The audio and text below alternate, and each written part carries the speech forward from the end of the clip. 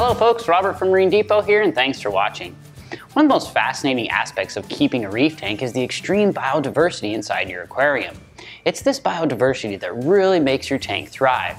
Worms, crustaceans, small starfish, bacteria, algae, plankton are all present in your reef tank and they really play an important role in keeping your fish and corals happy and healthy.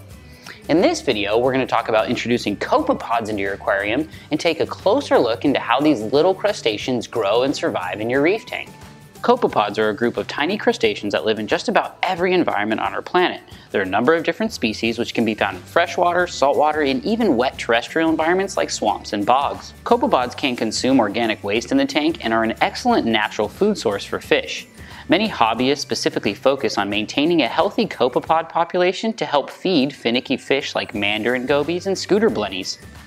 Copepods typically find their way into your tank as hitchhikers via live rock, frags, and macroalgae. You can also introduce these beneficial copepods into your reef tank to help boost the populations and increase the biodiversity. Here at MD, we carry two different species of live aquacultured copepods from AlgaGen, the Tisbe and Apocyclops species. When introducing live copepods into your tank, it is best to feed your fish first and pour them into the tank at nighttime.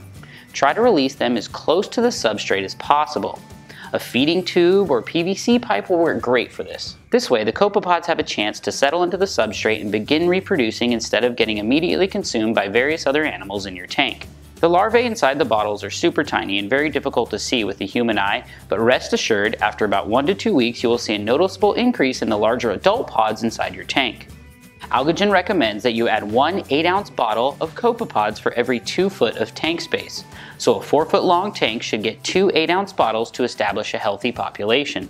Having an isolated refugium really helps to maintain a stable population of copepods because it offers a safe haven for these little guys to populate and grow. The copepod reproductive cycle does include a free-floating larval stage, so be cautious when employing a UV sterilizer which can kill the delicate larva.